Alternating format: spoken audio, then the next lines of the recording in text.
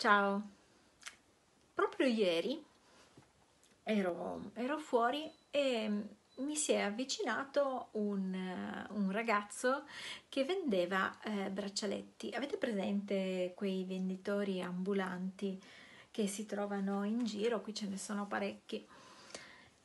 E questo ragazzo mm, gli abbiamo detto che non eravamo interessati ad acquistare i suoi braccialetti Comunque l'abbiamo guardato negli occhi e si è messo a parlare con noi. Quello che ti voglio dire con questo video è quante volte le persone che magari ti si avvicinano, ti chiedono qualcosa, o che magari, magari ti avvicinano anche per cose che non ti interessano, che magari ti possono anche arrivare a disturbare, a togliere tempo, quante volte tu ti ricordi della persona, dell'essere umano che c'è dietro questa richiesta? Quante volte tu ti ricordi della persona che stai incontrando?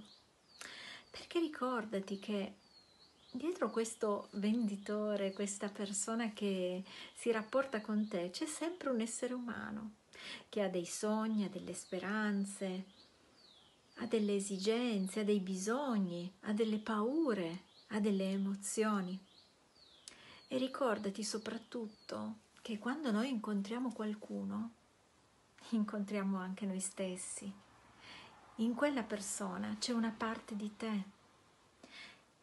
Ricordatene e cerca di essere, a prescindere dal fatto che tu possa essere interessato o meno a quello che ti viene proposto, gentile, di aprire il tuo cuore, di dare magari uno sguardo amorevole, perché ricordati che tu ti comporti con gli altri come in realtà ti stai comportando con te stesso.